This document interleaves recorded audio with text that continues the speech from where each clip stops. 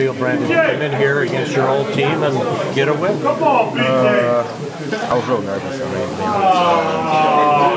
Um, I left him. Hey, I left him in the bus. Um, nah, uh, I was real nervous uh, in the beginning, um, you know, because I'm not used to being on the side. So um, there was a lot of emotions going on. But once the second half started, I was able to settle down and uh, just play basketball. Did you think you were going to feel that way? Did you think you were going to feel as nervous as you did?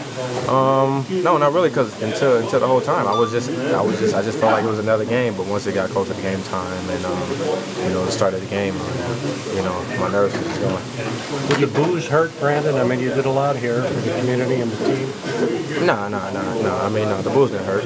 Um, you know, some people still talk to me. Um, you know, I have, still have a lot of fans here. I mean, at the end of the day, you know, the fans they support us through, through the good and the bad. So, um, I mean, you know, it just didn't bother me at all. Brandon, Brandon, when third, you said that that you, third quarter, you guys believe really. Uh, front line was talented. Was, was, when you said when you came to the Pistons, you said you hadn't played with a front line that talented. Do you feel those guys kind of vindicated you tonight with the numbers they put up? Yeah, I mean, Drummond's play big. Greg Monroe played big. Um, I mean, I mean, you know, I, I was just telling Greg, you know, there was one point in the game when I was looking at all three of them crash the board, and I was like, wow, like, you know, that's a scary sight down there. So, um, I mean, those guys played big tonight. I mean, you know, they came in here and they, they did a great job. You know, they took a lot of heat off me. you got you and uh, Andre really seem to be developing some chemistry multiple times tonight. You were able to find him for easy baskets. What's that process been like, and where do you think it's at right now?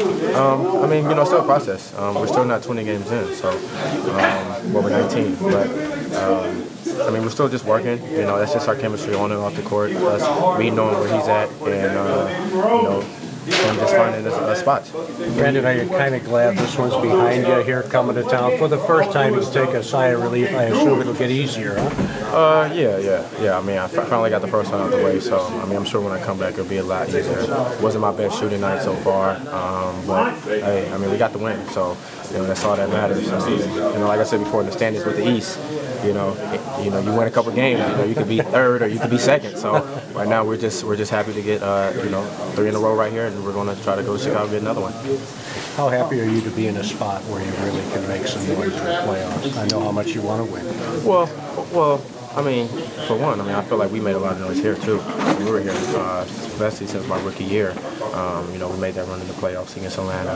Um, two years after that, uh, you know, we lost. We were, like two games, or three games out of the playoffs, and then my last year we made it. So, I mean, I'm, I'm used to you know actually being in the playoff hunt. Um, but now, uh, you know, they're a different organization, different team. Um, you know, this team, this organization really strives on winning championships every night. I mean, you know, every day. So, you know, they're not satisfied with just making the playoffs or who becomes an all-star. or That they just got uh, winning championships. You made your mark as a player here. Will you always hold Milwaukee close to your heart, all things considered? Oh yeah, no doubt. Uh, I mean, this is where I started. You know, this is where my career began. Um, Milwaukee actually took a, a chance on me. You know, I was the kid that went over to Italy, never played. People really didn't know really much about me. So, I mean, Milwaukee always gonna have a uh, place in my heart, no matter what. Anything